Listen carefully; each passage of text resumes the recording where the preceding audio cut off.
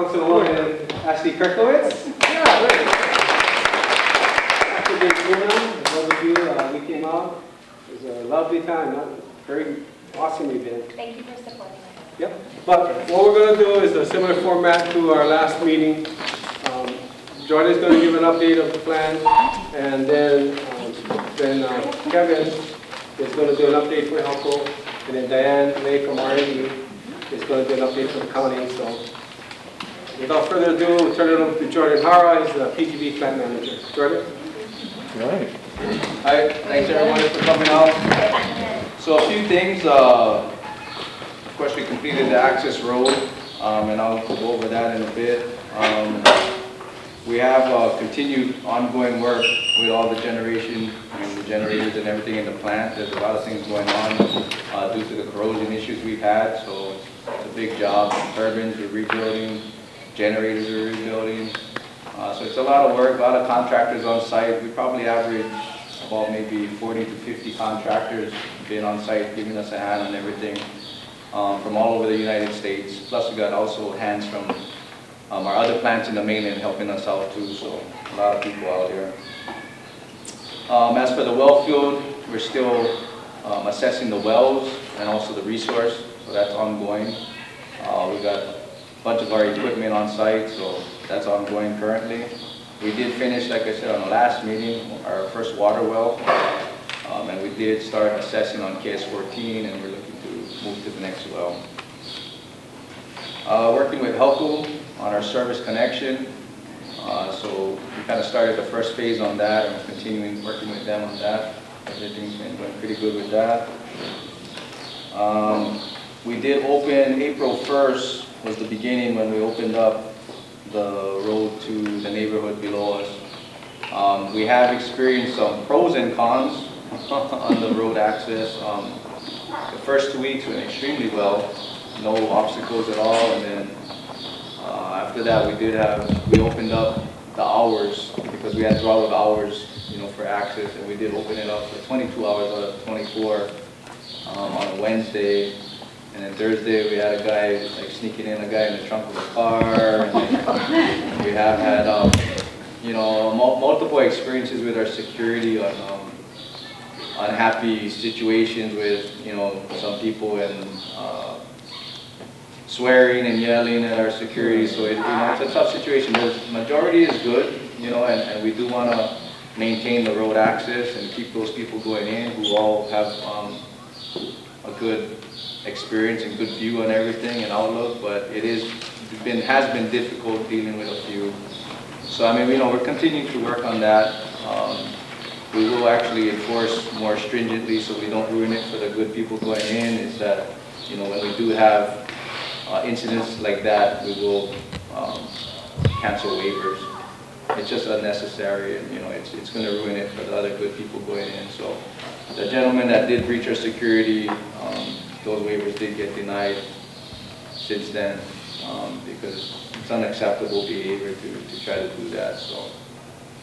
And it was unfortunate, because I just talked with him Wednesday, and he was the reason why I opened up the hours, and then Thursday, he was, he was doing that, you know. Unfortunate, but so that's some of the obstacles, and then, you know, we have a lot of need or want for um, contractors to get into, which we're looking at, because that's another uh, issue of liability, um, more paperwork for us, and um, by all means, for the residents who showed up, you know, we want to notify them, and we'll try to keep in touch too with more on the residents, but to notify them that, you know, we're working on it, and our efficiency may not be the fastest on getting, you know, adjustments to the waivers when needed, but, um, you know, we are in, in state of recovery on the plant, so it is, we do have different priorities during the day, and it is hard to kind of, you know, focus a lot of attention on that, and it does take a lot of time. Um, Ann and Michael Gornick, they spent a lot of time in the very beginning collecting all of the waivers and putting that together, and they didn't realize how much is involved in that, and so, you know, and I think one of her words was, uh, what is it, um, thankless work. I mean, it, and I was like, oh yeah, you doing it? I mean, you know, it's it's we you know we want to do the best we can to help everybody out, but you know, it's it's a difficult situation. A few people make it harder too, so we're working on looking at opening up more for contractors and whatnot. We have been kind of working um, with a few that already are in, is in our system, but you know, it's, it's really a lot of liability issue and paperwork, so we're working on that. Other than that, so I got my, Thanks, Jordan. Kevin will be next. And then once all our presentations are done, we'll break up into our group, our group areas. And then if there's uh, further additional detailed questions that, that folks have, um, we'll be happy to take them at that time. So we'll turn it over to Kevin Wonchek, Elco. Okay. Thanks, Kevin. Thanks, Mike. Uh, Thanks, Jordan, for bringing up some of the things that I was supposed to cover on my list. Um, But first and foremost, you know, uh, we do still have a rebuild agreement with PGV. Uh, The PUC issued a letter to Helco on May 8th, May 9th, um, stating that, you know, we will submit an application for the transmission line um, and hold public hearing. So that's, that's in, in effect right now. Uh, PGV, as Jordan had said, had requested service from Hawaii Electric Light as a customer. So we started that process, installed the service poles, installed the poles to serve PGV, and uh, are working at trying to get them service. Now, this is important probably for the customers that live east of PGV's property, because what that does is it establishes a line that allows us to connect to and bring service down to the customers that got access to that area. And that's important. I know that is important. It's important for us and it's important for the residents. Um, We're keeping the PUC informed and we continue to work with PGV and we will uphold any decisions that come down from the, from the PUC. And that's pretty much uh, where, where we're at.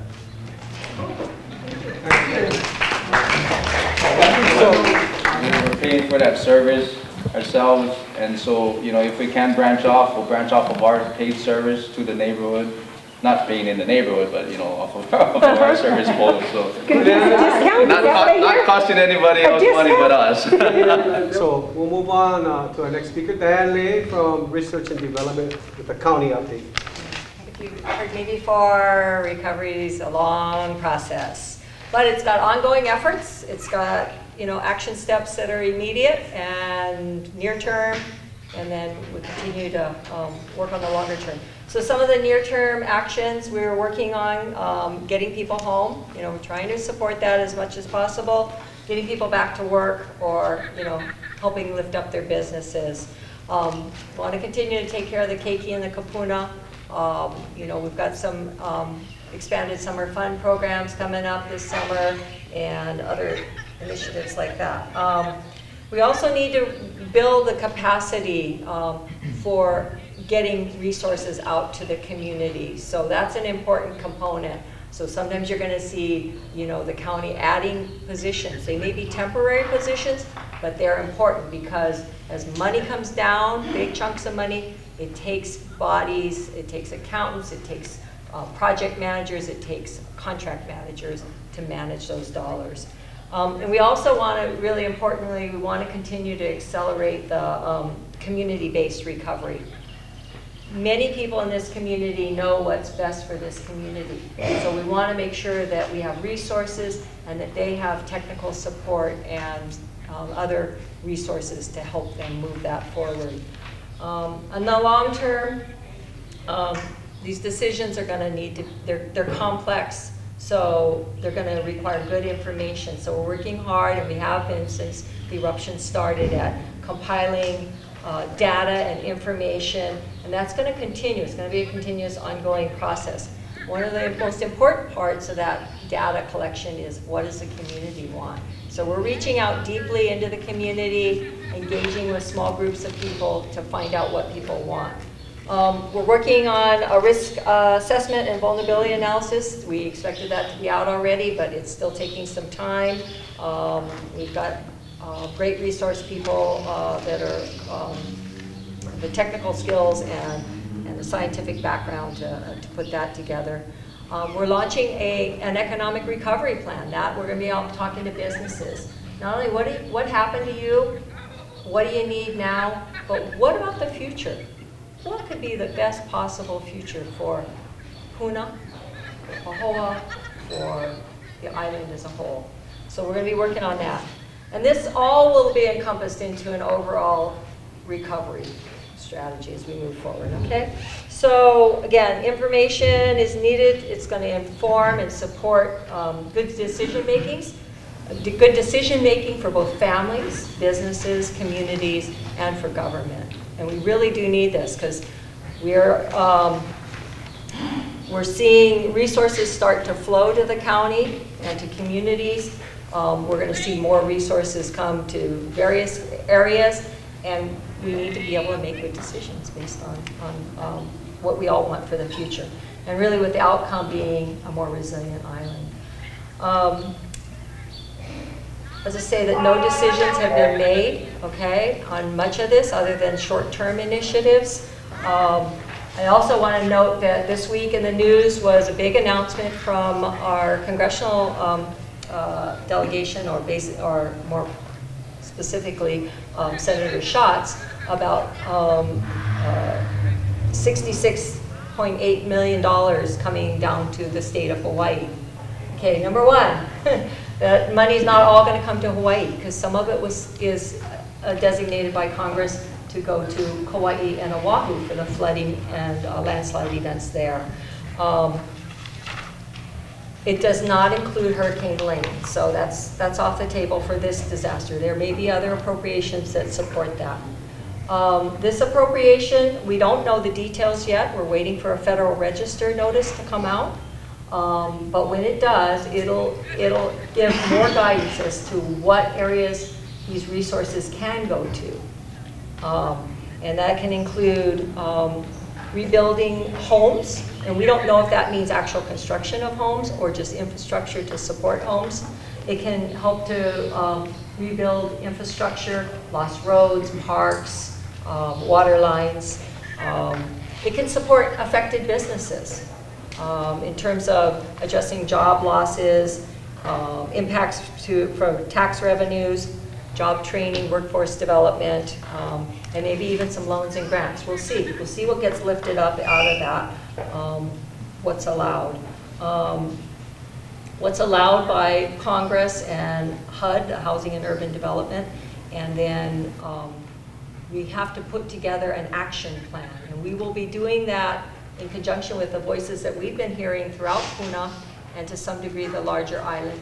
We'll be incorporating some of the other fact-finding that we've been doing.